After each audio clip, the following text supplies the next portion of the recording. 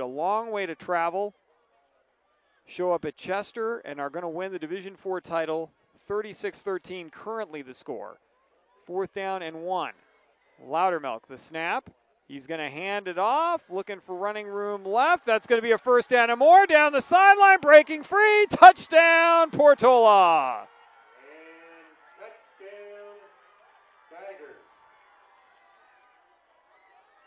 On a fourth and one, that is just that just epitomizes how this day has gone for Portola. You got a fourth and one, you're looking just to keep the chains moving.